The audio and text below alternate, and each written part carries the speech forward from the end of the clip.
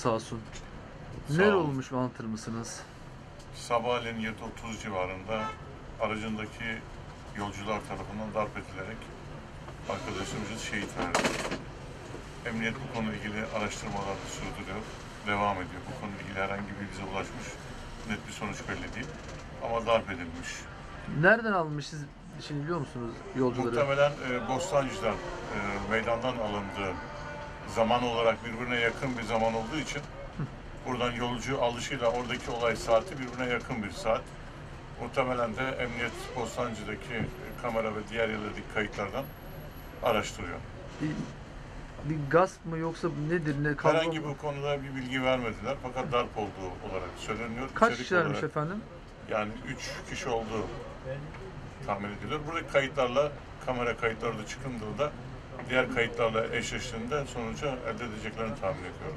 Üzüntülüyüz, acımız büyük. Ben aynı zamanda İstanbul Şoförler Esnaf Odası Başkan Vekiliyim. Kendisiyle beraber 15-20 yıldır taksicilik yaptık.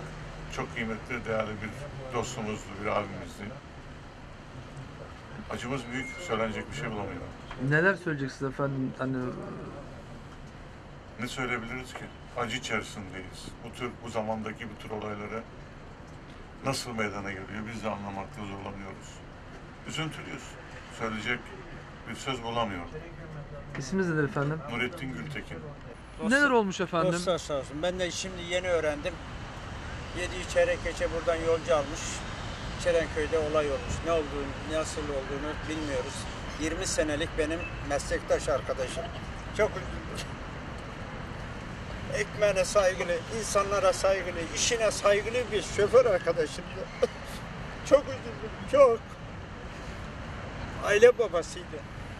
Hepimize her sabah burada gelir çayımızı, kahvemizi içerdik. Adam gibi adamdı, esnaftı, esnaf.